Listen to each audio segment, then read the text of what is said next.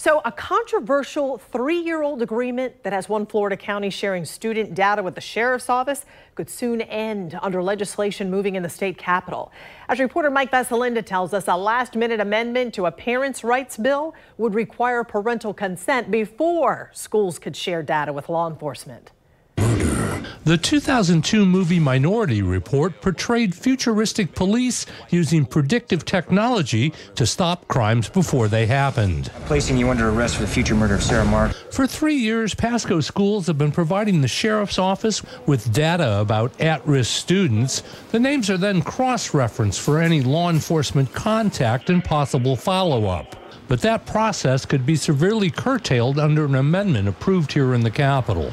Parents, parents should have to affirmatively consent to allowing the school district to release their child's grades to local law enforcement. The amendment would require every school district, not just Pasco, to get permission from a parent before sharing information with law enforcement.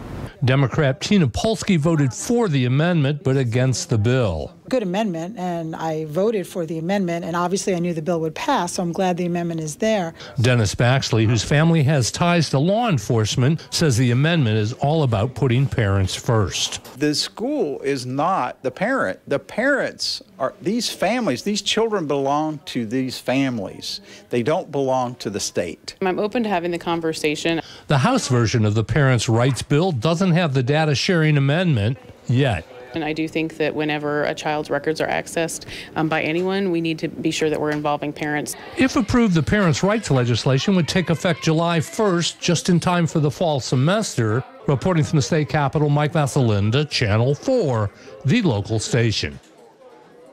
The Pasco school superintendent has not yet returned our call. We did speak with the Pasco County Sheriff's Office, which said it has no plans to fight the legislation.